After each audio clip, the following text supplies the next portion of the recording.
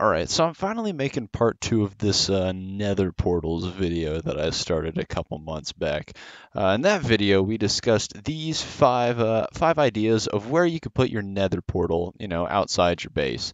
You know, uh, and if you want to go over those designs, uh, see those designs covered in depth, uh, then go ahead and click on that video. You know, linked in the description and also on the little eye icon popping up on your screen right now. But today we're going to be moving away from that and doing five more uh, Nether Portal ideas, except this time we're going to be covering Nether Portal rooms. So uh, these are places uh, you can put your Nether Portal inside your base, and uh, these aren't going to fit inside your average, you know, starter house. So when I say base, I really do mean base.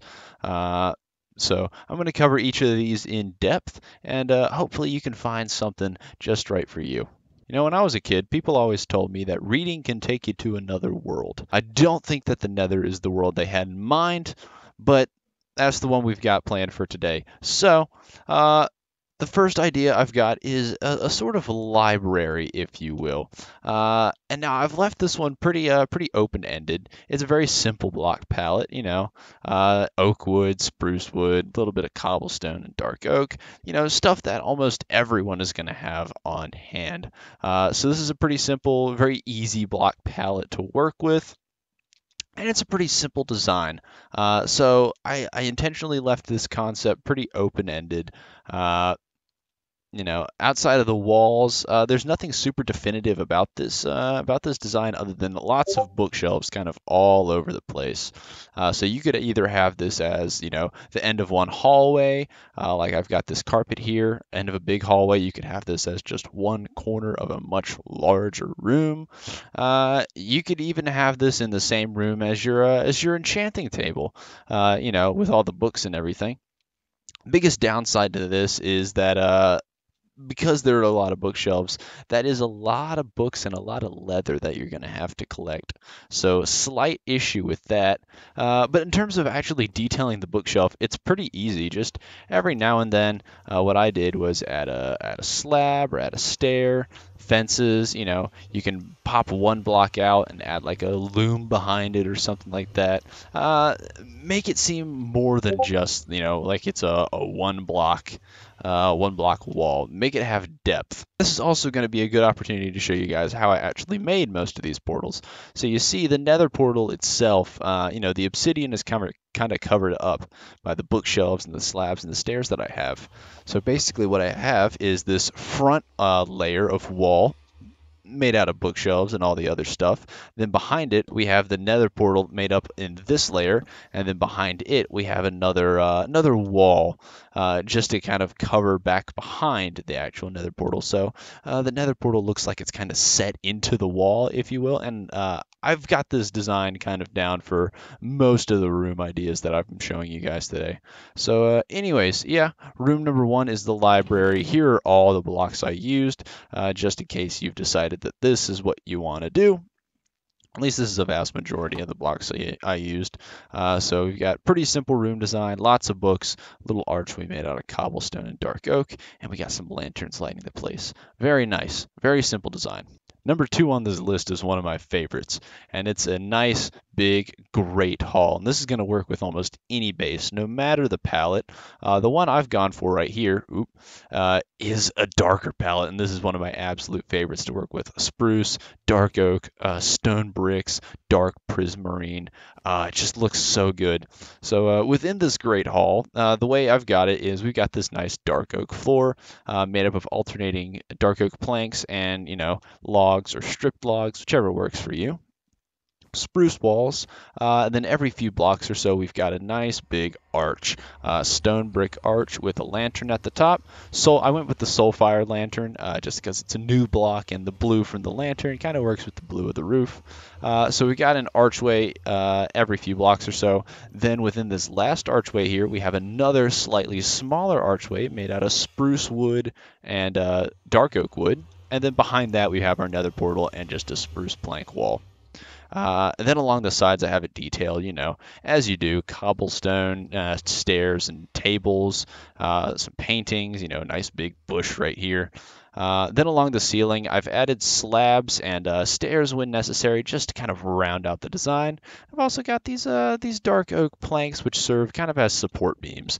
Uh, so the, oh, the whole thing looks very structured, and ah, this is just this is my building palette. This is just how I build, and it's just ah, uh, it looks so good. I I love this style of building, super detailed, uh, and ah, it just looks perfect. Even the carpet uh, on the floor, we've got a light gray and dark gray kind of rug uh, rolled out along the floor, and we've got interchanging carpet and wool along the floor to give it nice, a uh, lot of lot of texture, a lot of feel, just in the carpet alone.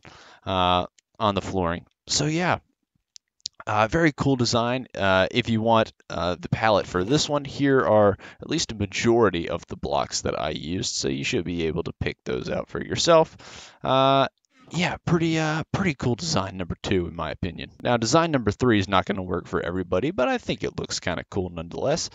Uh, we've got this science lab, and this is a stark change from uh, you know designs number one and two. It's very flat. It's almost kind of cartoony, uh, if you will, uh, and it's very bright and colorful.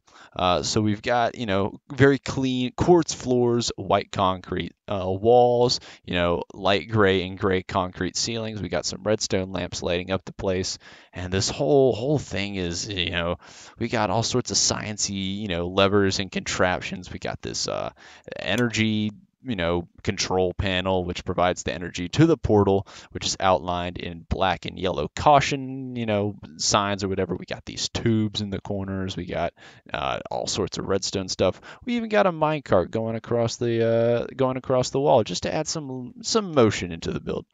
Uh, now, for the portal itself, I tried to make this kind of a hexagon looking shape, uh, sort of like a, the Gravity Falls portal, but I, have also been watching a lot of uh, Hermitcraft recently, and I know Xisuma has been working with kind of some hexagon designs like this, uh, or sorry, Bizuma, uh, as he's going by now. So he's been working with some hexagons kind of like this. Uh, and I'll show you what I, what I mean in the back. So here we've got some hexagon patterns that I've worked out. Now this small one is just five blocks on each side. So uh, it doesn't look uh, like a perfect hexagon. The bigger the hexagon it is, uh, the more, or the bigger the sides, I guess, the more of a hexagon it looks. So this is six blocks on each side. Then we've got seven. Now this is really starting to look like a hexagon. And you can see the design or the pattern I've gone for on the sides. One block, two blocks, one block, two blocks. Uh, then we've got I believe this is nine blocks right here, and then 10 blocks. So the bigger you go, the more of a hexagon it looks. I couldn't really get too big of a hexagon in here, so it ended up more looking more like a circle, if anything. Uh, but I think it still looked pretty cool. Uh, it still turns out pretty well, and it matches the sciency theme. Uh, so yeah, uh, outside of it being a very flat you know, flat build uh, in terms of color. I had to add a lot of detail, you know, in the flooring and then uh, all sorts of shelves and stuff on the wall just to add some, you know, some detailing and some interest to the build outside of just, you know, floor, walls, portal. Uh, so, you know, adding a few things like shelves and barrels and redstone contraptions and stuff will really bring your science lab together. So, like I said, it's not going to work for everybody, but it uh, it should work for some people, and it's kind of a cool design nonetheless. Oh yeah, and uh, here are all the uh, blocks that I used for it. Now the next one might be a bit of a stretch. Just bear with me on this one. This next idea should work for everybody because everyone's going to have a bedroom in their house, right? You know, you no matter where your base is, you're going to have a bedroom with maybe a desk, you know, to write your notes on, and then a big four-poster bed to sleep in, some shelves to hold your uh, your stuff and your lighting, some books to read at night, you know, paintings, wall decor, and then oop, your closet, boom, you have your nether portal. So uh, this isn't the most practical, maybe, of all the uh, ideas I've come up with, but I think it's a, still a cool concept nonetheless. You know, in here you can store a spare set of armor, or maybe your nether set of armor. Whenever you go adventuring in the nether, you got your set of armor that you're going to put on real quick, and then boom, off you go. You got a mirror to check yourself out. Uh, you know, uh, make sure you're looking nice and dapper for the day. Uh, the one issue is, you know, particles coming through your wardrobe. But uh, uh, overall, you know, everyone's gonna have a bedroom in your uh, in your base somewhere. So if nothing else, you know, maybe put a put your portal in there if you've got nowhere else to put it. Uh, it doesn't add a whole lot of room. You know, we've got a, a, a slight, you know, tumor uh, right here on the back of your base, but outside of that, uh, it doesn't add too much, uh, too much, you know, space taken up. Uh, so yeah, this is kind of a cool, cool concept that I've actually had a couple ideas for. Oh, also, uh, stuff that you're going to need to build it. So as far as a portal in the closet goes, I had a couple of ideas. You could do it in your wardrobe like that, or you could do something like a big walk-in closet like this. Uh, you know, and here you've got your uh, your chest for storing clothes in. You got your armor stand, mirror again, and then your portal, which is a lot less hidden this time around. Uh, but you know you got to put it somewhere and uh, maybe you want to put it here. I don't like this personally as much as the wardrobe I, uh, wardrobe idea. That one had more like uh, you know monsters inc. or uh, you know chronicles of narnia kind of vibes. Uh, but this one's not a terrible idea Another one you could do, this is kind of like a closet I used to have as a kid. Uh, you kind of walk in and it's just shelves. It's a long shelf and you come over here, you can get your clothes off the rack and then, you know, another armor stand and more, uh, you know, more chest because this, this roof is just made of slabs. And then back behind here, you can just walk straight through because, uh, you know, uh, you can walk right under trapdoors in Minecraft. And then back behind the curtains, you know, your little portal. So is the portal in the closet the most practical idea? No. But does it work? Absolutely. And, uh, you know, maybe you could at least give me kudos for trying. Now, because we are now officially in Minecraft 1.16, uh, I wanted to do something special for this last portal. You know, uh, kind of a, a mashup of all the new blocks that they've added uh, to Minecraft in 1.16. So, boom, here we are. Uh, this is almost entirely new blocks in Minecraft to make up this portal room, and it looks. Oh, come on, this just looks absolutely sinister. And it's made up, like I said, of almost entirely new blocks. I mean, I've got a couple of iron bars and uh, and you know the obsidian to make the portal.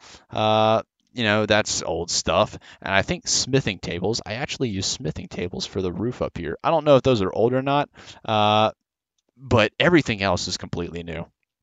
You know, the shroom lights, the the polished stone, black stone bricks, polished black stone, black stone. You know, the crimson hyphae, hyphae is that how you pronounce that? Uh, which looks awesome, and you know, it even it even glimmers a little bit, which is really cool.